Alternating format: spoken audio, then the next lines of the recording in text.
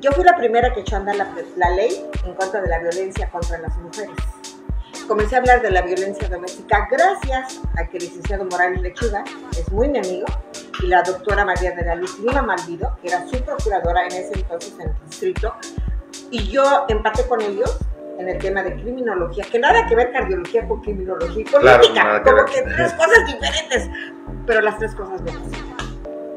Entonces, me di a la tarea de contratar a la mejor doctora en Derecho, que fue, por supuesto, mi asesora, la doctora Elda Cárdenas. Ella fue la que hi- hizo la ley en contra de, de la violencia doméstica. Estaba Eduardo Bando, el presidente del Congreso.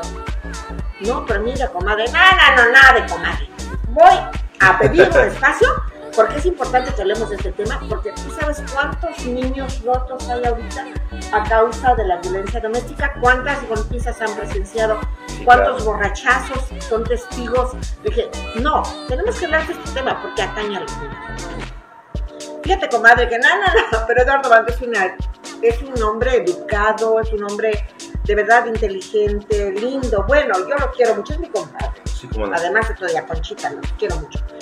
Este, y me dijo, mira, comadre, vamos a hacer un espacio, pero tenían que hablarle a, a, a- Joaquín Hendrix, ¿no? Para pedirle permiso. Así. Bueno, los, los protocolos lo exigían de alguna forma. No, me choca eso, ¿por qué? O sea, si va así es la política. a ver, espera.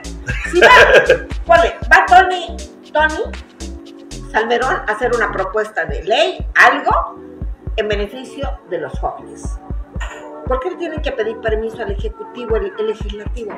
Es que ya tenemos que quitarnos esos chips. Tenemos que ser... Bueno, así como lo pinta, tiene razón. no, la tengo. Sí, pero cuando la primera dama, la presidenta del patronato DIF estatal, que es la esposa del gobernador, quiere proponer algo que tiene que ver con las políticas públicas de un estado que gobierna Joaquín el- bueno, gobernaba Joaquín Hendrix en ese momento, los protocolos políticos, no la ley, porque no es la ley, los protocolos políticos establecen que tienen que tomar en consideración la opinión de- de- del gobernador. Por eso lo hizo Eduardo Bando y por eso lo hacen todos de alguna forma. Es verdad que a veces se extralimitan cayendo piden permiso.